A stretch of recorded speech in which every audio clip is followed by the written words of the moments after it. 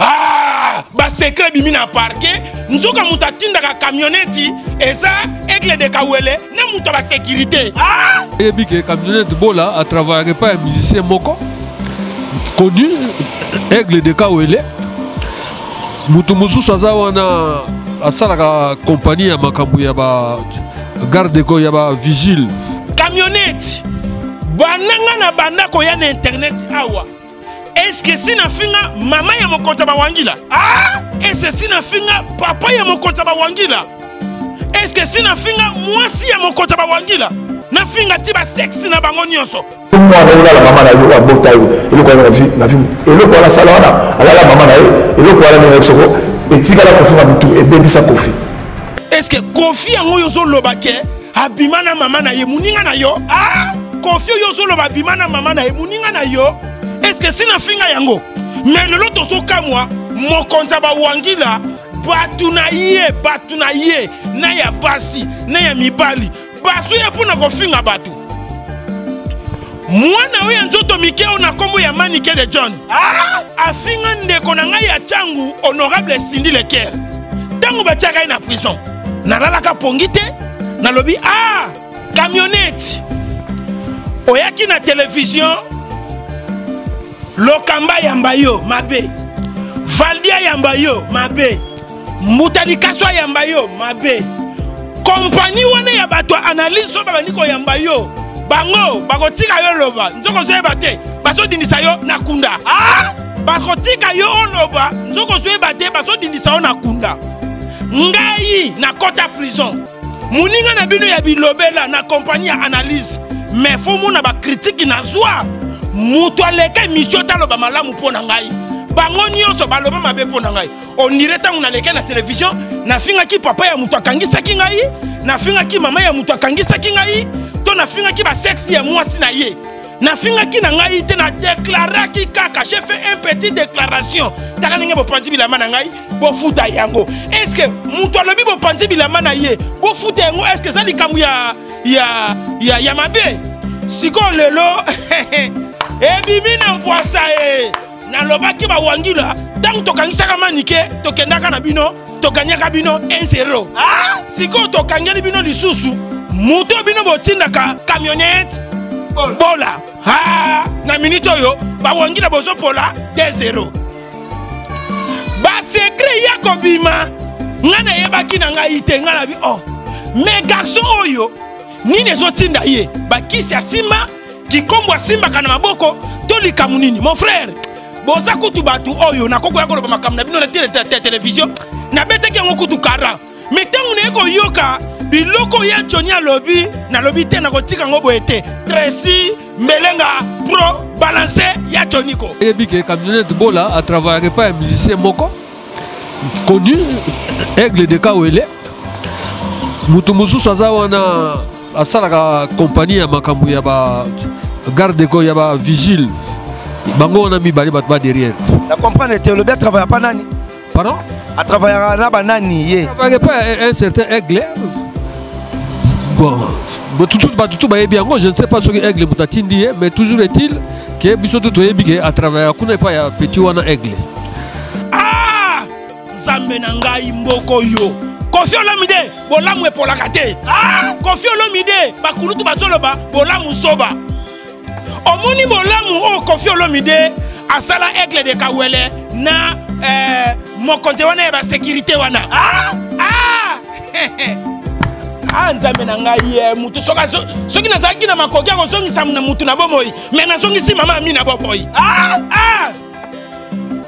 mokonzi ya bawangila mama ami oyo abokola yo mama ami oyo asungi yo na vie mokonzi ya bawangila na motu na bino basekirite bozotika baya kosaliri ko mwa mama mama oyo aboti biso naboyi te kofi aza na elome publike sikoyo na miniti oyo kofi moto akangisi ye te ah! kofi moto akangisi yo te famille eza monene ya joniko atelemi na miniti oyo natuna mokonzi bawangila mokonzi bawangila mama mi azalaki soki awuti wenze nani abandaki koya kobwaka miso na kitunga moto ya liboso yo te ah! eh!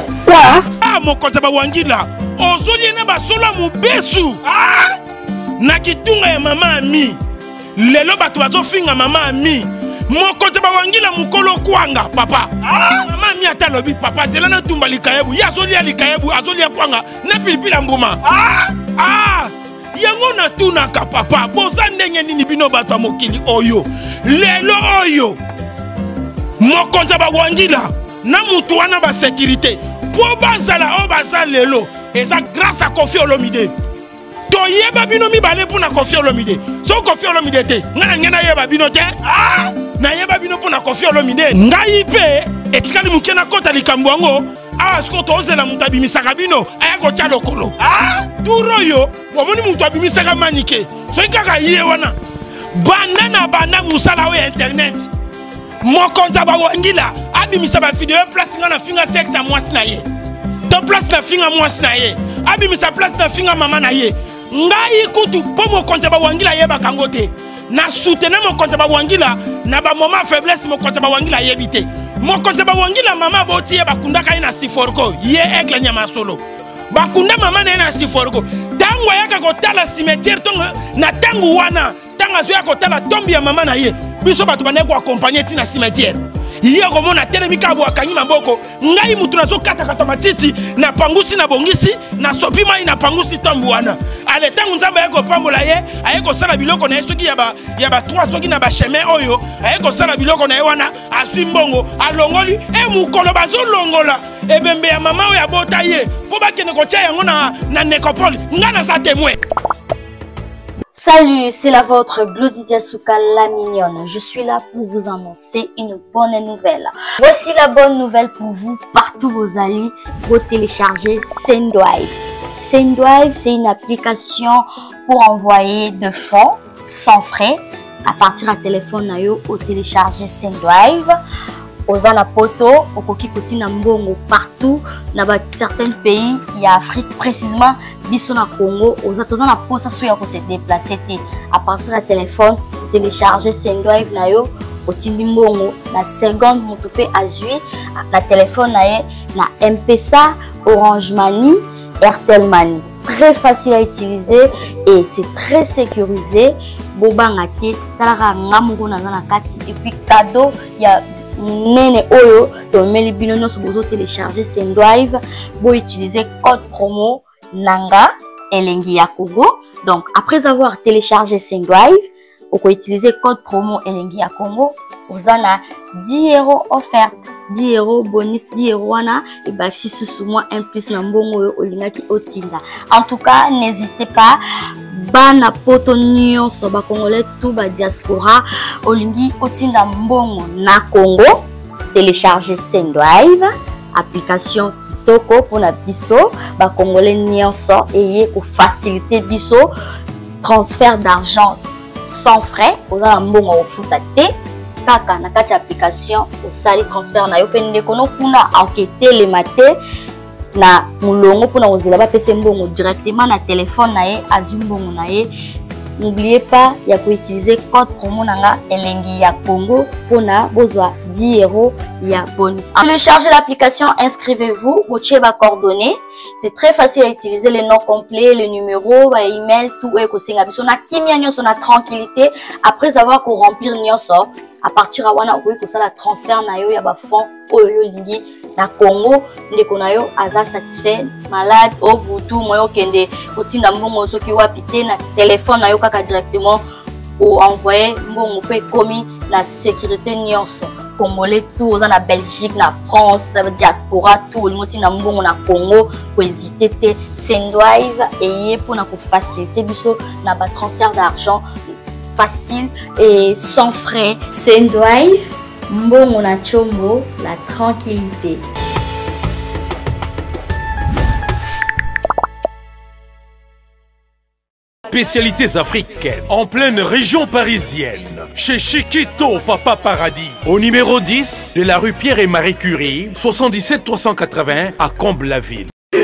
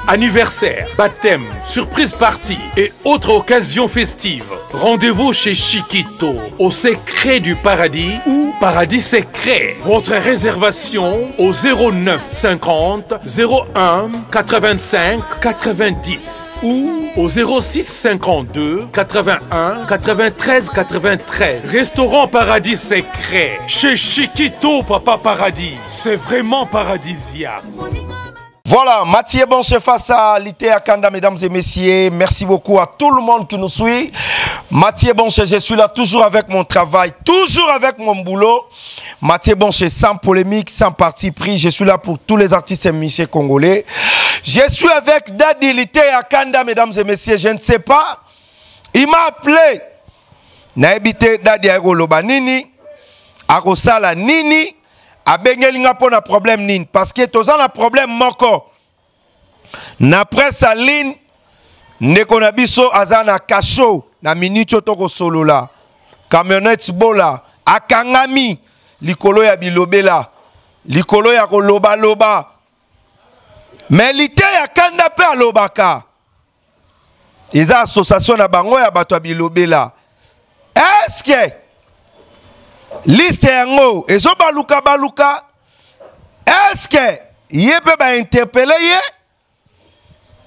eske azwi bamenance na mosika deja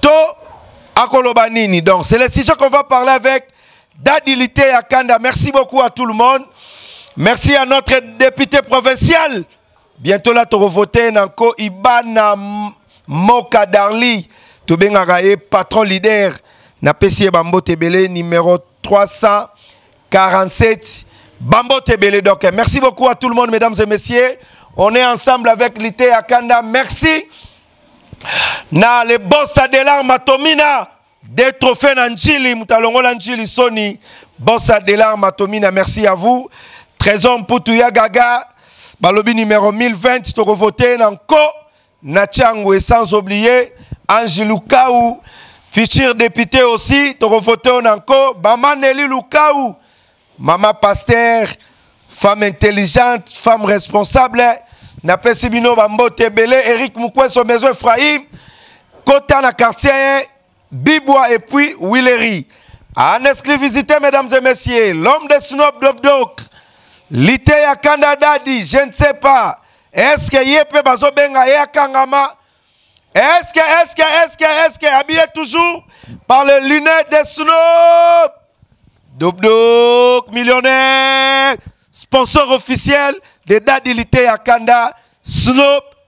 Dope Dog, Daddy mbote na yo.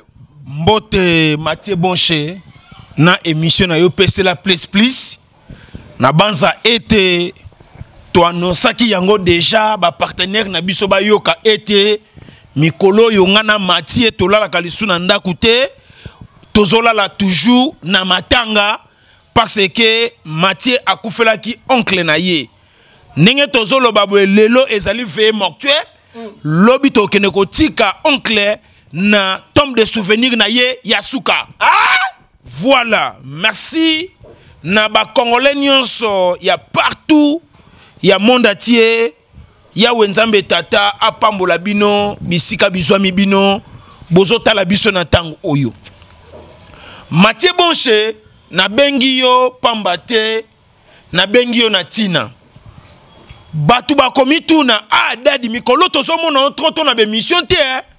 ah oui effectivement bozotuna bozomona ngai na bemission pambapamba te parce que mosala ya bilobela eza chose facile te ah mosala ya bilobela oyo ndenge tolobaka boye papa ndenge navandi kaka ndenge navandi boye imoraidi ezobima ah! ndenge navandi boye ekoki koprovoke nga prostati mokongo ezokata na atout moment mpo koloba loba loba eleki e makambo yango mpe banda tobanda koloba ti lelo nanu togania bavi ya malonga te ah! ozolanda nde na yango wana naza na ngai lisusu moto akosalaka baémission heure nyonso te mm. nakomi kosala émission tantôt plutôt et plutôt tantôt ah! yango ozomona ngai naza lisusu pamba pamba te na tele bafan club na ngai tous les amis de lite ya kanda bo eskize nga mpo boza maboko makasi ah! c'est-à-dire nakomi kobaye heure nyonso émission émission les amis de lite ya kanda maboko mangongi ozolanda mm. e, eza lisusu na na eloko moko nasala nabengaka yango eza ete eh, apanza analyse mm. bafan club mpe ya émission apanza analyse baza maboko makaku ah?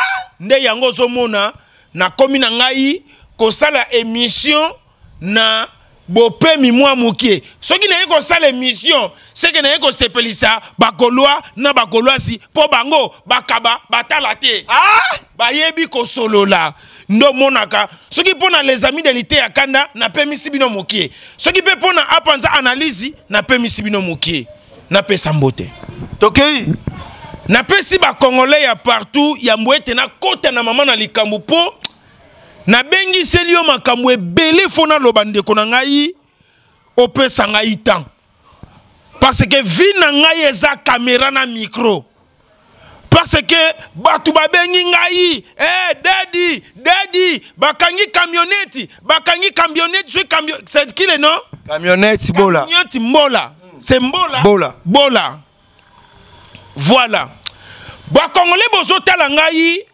Moi c'est Goldberg de YouTube. Un contre tout sous frappe na le frappe na retour. Mutakala na nkolo le père spirituel ya ba gaulois ya monde entier pe nazangisaka te ko soutenir ba musiciens oyo bazo sala makambo ya kitoko na République ya Congo mobimba. Ba congolais bozalaka ebele ya ba différents religions ya ba différents misala ya ba différents niveaux ngai napesaka bino mbote parce que je suis très content pourquoi nzambe apermeta nabotama congolais e nalingi bino nyonso bacongolais yawe nzambe tata apambola bino baye baza na matanga ndenge nazopresente atumome epa na yo parce que oza mpe moko kati na ngai oza na matanga na presente ba condoleances courage lobi tokende kotika noko na tombe de souvenir e na presente ba condoleances na ba congolais nyonso oyo baza na bamatanga nabosani te na souhaite ba bonne guérison na tous les congolais oyo bazobela nzoto ezotungisa e na souhaite ba joyeux anniversaire na bakongolo bakobotama lelo na bao bakobotama lobi e mon ami die merci kitumbu abotami lelo eh, joyeux anniversaire na ye anniversaire à die merci kitumbu merci beaucoup à die merci nzambe apambola yo tokei voilà bakongole bazobenga nga mingi bayebisi nga balobi ah dadi talela biso dollar ezokende wapi talela biso eh, biloko kolia ekomi cher botika motungisa buzoba ya eh? botikela nga motungisa buzoba nga naza nai na mboka oyo naza ni ministre naza ni député je suis un simple invorien ya bilobela ah? je suis un simple invorien ya bilobela bobenga nga na makambo ya dollar nga naza nani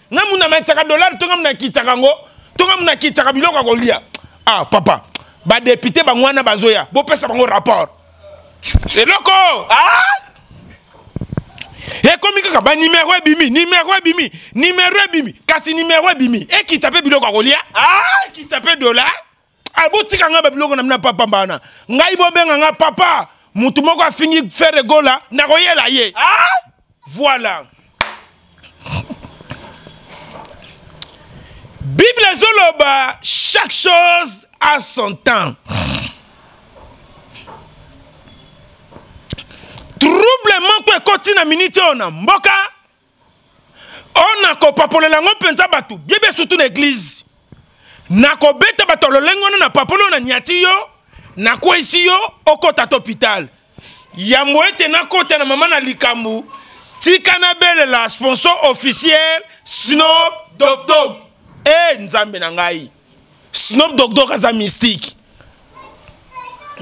na miniti oyo ndenge nazoyebisa yo ete Snoop Dogg Doggy papa na ye King Salomon oyo batangaka kombo na ye te sikoyo na minute oyo ndenge tozoloba boye préparation azo fete 30 ans de carrière ya ya ki King Salomon ah! azo fete 30 ans de carrière ya ki affaire papa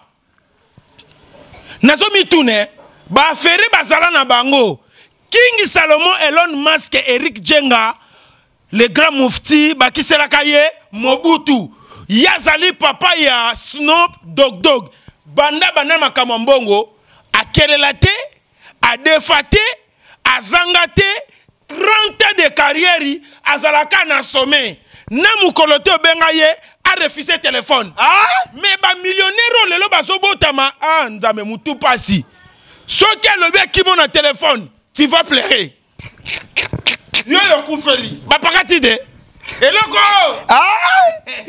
merci à nicon kai le formateur de boss Je confirme avec force Nikon Kai, le formateur des boss. Wana mutu na yo. tika ba comparaison ndeko na ngai tika biloko wana tokei na mama alikaabwaki formateur ya bamillionnaire yo oyeli ngai lisusu soki likaku nkoi nani nani papa eloko wana ah! wana azali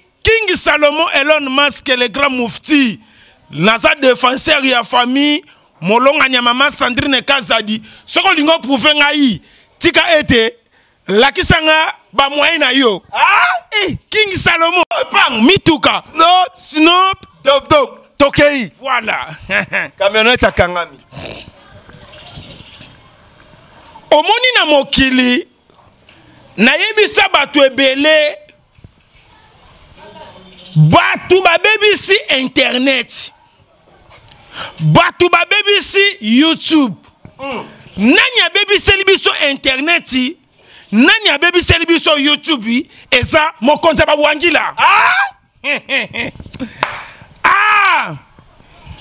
biso na makambo ya tv oyo lelo naza sollicite na ba na ba famille ebele ya bakonzi parce que biso tosaleli tv na ndenge ya mabe te biso tosaleli tv na ndenge ya malamu me lelo nazokamwa mokonzi ya bawangila aye na bato na televizio mpo babanda kofingela ye bato na baseksi ya bamama ya bato ngai nakota prison nabetelo lisolo peut-être oyebaka yango te nakota prison alipama nte kofele ah?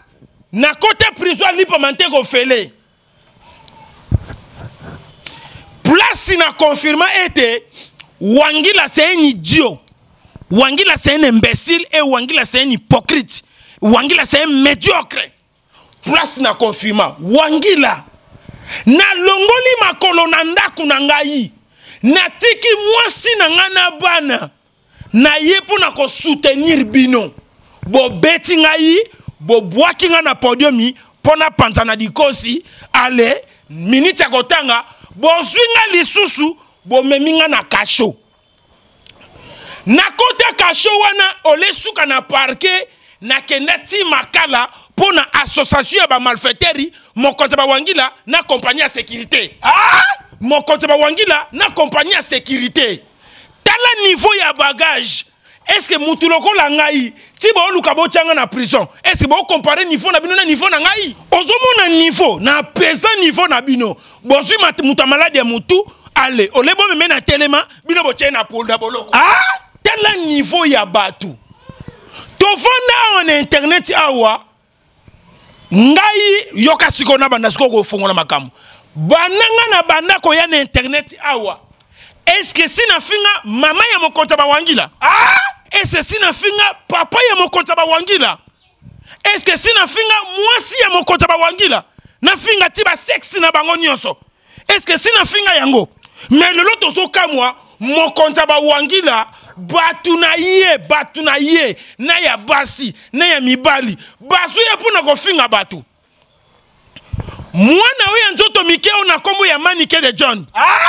afinga ndeko na ngai ya ntango honorable sindi leker ntango batiaka ye na prison nalalaka pongi te nalobi a ah, nabelela ya bienvenu kamba apocalypse 22 bondela honorable eh, sindi leker nabengi maître tsura mboma l'imbatable bondela sindi leker e naye kobenga jean-lik mokoko babomaka moto na petrole te ah! nasala mosala moko mpo na natali te malgré azofinga babetizi oyo oh, biso na televizio biso na interneti moi pour moi Internet, je viens ici pour faire le business. Ah, Internet, pour moi, c'est tout un commerce.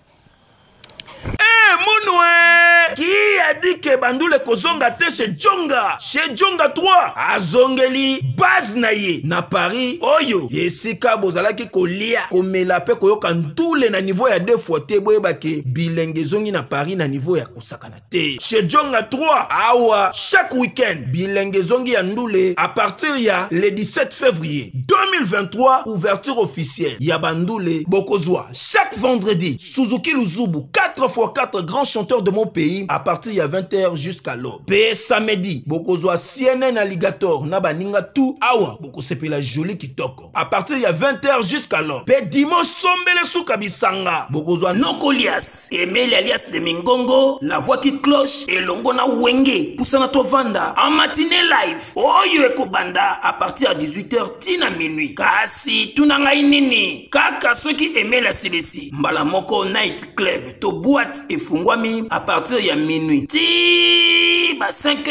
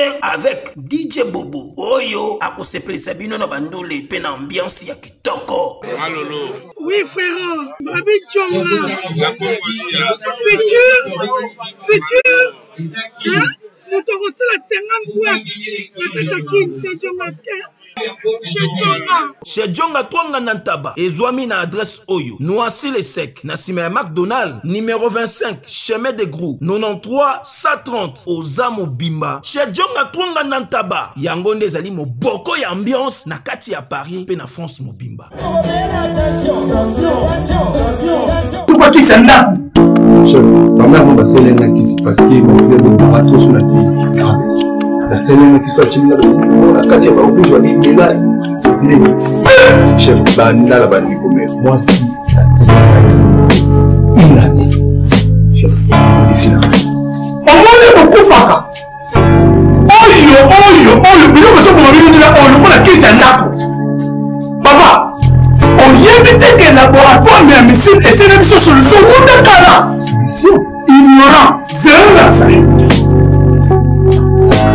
omoni oyo siminalisi siko suppositoire oyo siminalisi comprime oyo na ba hémoroïde voilà omoni desesprit oyo eza mpo na faiblesse sexuelle epo mpo na frigidité mpo na basi ekolede makasi mais borex soki osisi traitement nyonso tu ya hémorroïde nde sikoyo kobanda kopakola yango mpo na nzoto ya biso bapapa soki mpo olingi omesire basantimetre no avant banda kopakola mpo mokolo kosilisa okomesire lisusu okomona ke box toujours champion okomprendre bakisi nyonso nayakisi yo okozonga esika mosusu te na congo kaka na laboratoire me ya misile epuis esalami na banzete ya congo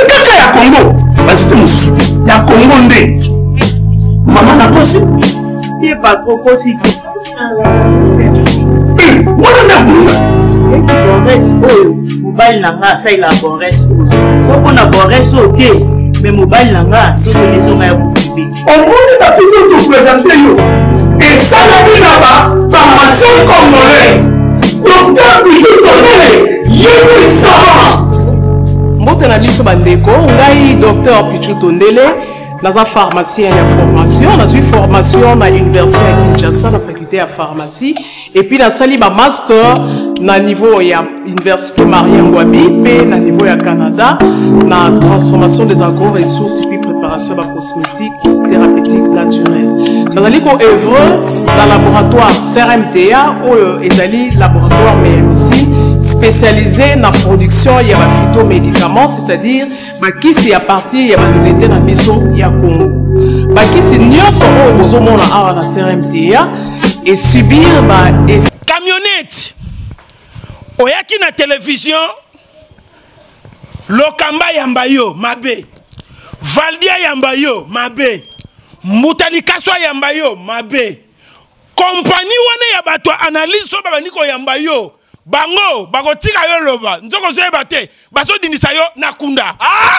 bakotika yo oloba nzoko ozoyeba te bazodindisa yo na kunda ngai nakota prison moninga na bino ya bilobela na kompani ya analyse mais fo mona bakritiki nazwa moto aleka emission te aloba malamu mpo na ngai bango nyonso baloba mabe mpo na ngai ondire ntango naleke na televizio nafingaki papa ya moto akangisaki ngai nafingaki mama ya moto akangisaki ngai to nafingaki basexe ya mwasi na ye nafingaki na ngai te nadeklaraki kaka je fait un petit déclaration tala ndenge bopanzi bilamba na ngai bofuta yango estce moto alobi bopanzi bilamba na ye bofuta yango estce eza likambo ya ya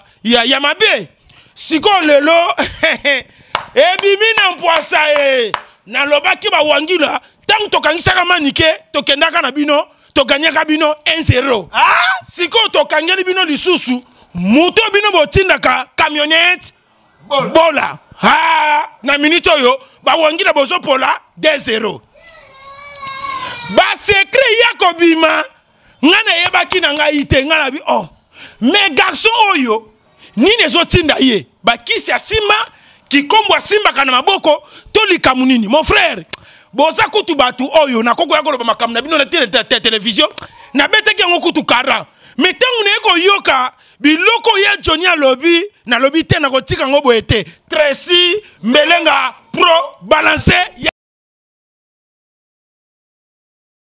ah, basekre ebimi na parke nzoka moto atindaka kamioneti eza aigle de kawele na moto ya basekirite ah! ah! nzambe na ngai mboko yo kofi olomide bolamu epolaka te ah! kofi olomide bakulutu bazoloba bolamu zoba omoni bolamu oyo kofi olomide asala aigle de kawele na eh, mokonzi wana ya basekirite wana ah! ah ah nzambe na ngai ye eh, motu soki soki nazalaki na makoki ya kozongisa na motu na bomoi me nazongisi mama ami na bomoi ah, ah. mokonzi ya bawangila mama ami oyo abokola yo mama ami oyo asungi yo na vie mokonzi ya bawangila na motu na bino basekirite bozotika baya kosaliri komwa mama mama oyo aboti biso naboyi te kofi aza na ye l'homme public sikoyo na minute oyo kofi moto akangisi ye te ah! kofi moto akangisi yo te famille eza monene ya joniko atelemi mm. na miniti oyo natuna mokonzi bawangila mokonzi bawangila mama ami azalaki soki awuti wenze nani abandaki koya kobwaka misu na kitunga moto ya liboso yo te ah! ah, mokonzi bawangila ozoli ye na basolo ya mobesu ah! na kitunga ya mama ami lelo bato bazofinga mama ami mokonzi bawangila mokolo kwanga papa ah! mama ami ata alobi papa zela natumba likayebu ye azolia likayebu azolia kwanga na pilipili ya mbuma ah! Ah!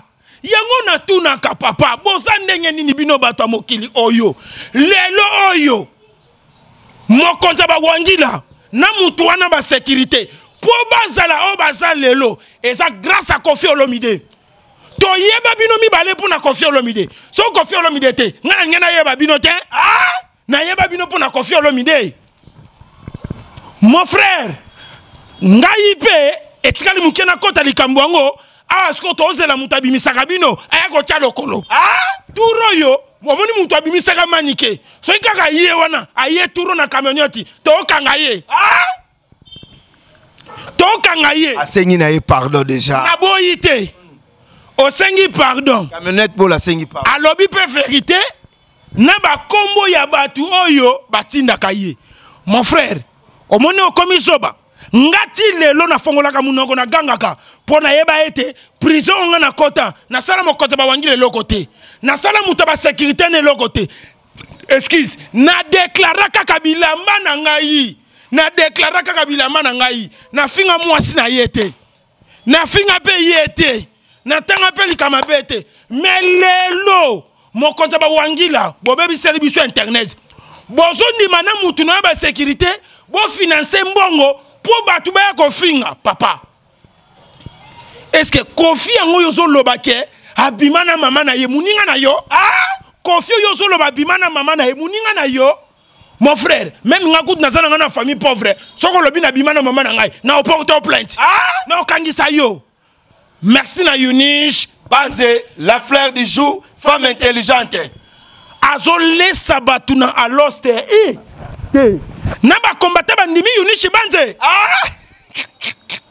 ndeko na ngai banda na banda mosala oyo ya internet mokonzi ya bawangila abimisa bavideo place ngai na finga sexe ya mwasi na ye to place na finga mwasi na ye abimisa place na finga mama na ye ngai kutu mpo mokonzi ya bawangila ayebaka yango te na soutene mokonzi ya bawangila na bamoma faiblesse mokonzi ya bawangila ayebi te mokonzi ya bawangila mama aboti ye bakundaka ye na siforgo ye aigle nyama ya solo bakunda mama na ye na siforgo ntango ayaka kotala cimetière ntongo na ntango wana ntango azoya kotala tombi ya mama na ye biso bato bandaki koakompagne ntina cimetière ye akomona atelemi kaka bo akangi maboko ngai motu nazokatakata matiti napangusi nabongisi nasopi mai napangusi ntambo wana ale ntango nzambe aye kopambola ye aye kosala biloko na ye soki ya ba, ya ba 3 soki na bachemin oyo aye kosala biloko na ye wana azwi mbongo alongoli e mokolo bazolongola ebembe ya mama oyo abota ye mpo bakende kotya yango na, na necopole ngai naza temoin mm.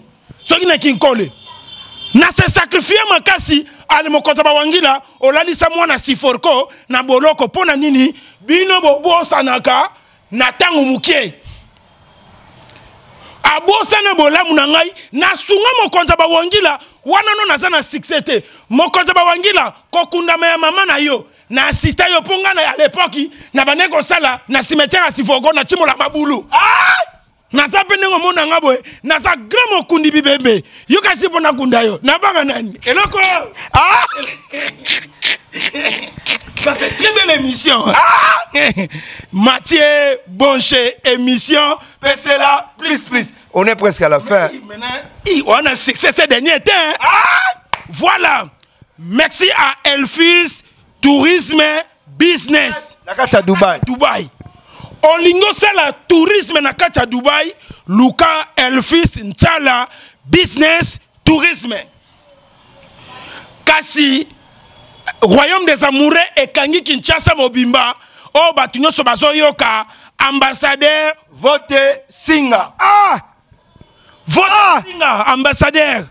nayebisaki yo toza na matanga mon frère a perdu son oncle mais pourquoi vous ne regardez sans rien à dire ah sans un mot à dire pdg mosengo ah pdg mosengo mmpt topesi yo bambote ebele baza mwa ebele ya otala biso niko nkai le formateur de boss merci ya dajo ngwaila mokonzi ya njili double trophée adelar matomina le patron vie na nga moko na biso bambote ebele sam kunku sam kunku le nécessaire sam kunku le nécessaire bakangisa nga nayeba te eloko te c'est-à-dire mokonzi ya bawangila ata azonyokola yo koloba eloko te nayebi te ata kofi omodire o, o, o, bango mais ata baza na kati ya malédiction mais ya bango ekomi malédiction débordée ah! epuis tala likambo kamioniote aye kobakisa lobi ete ferre azolinga alia biso kala te fere azolinga alia bino yo na kindingu ah! tala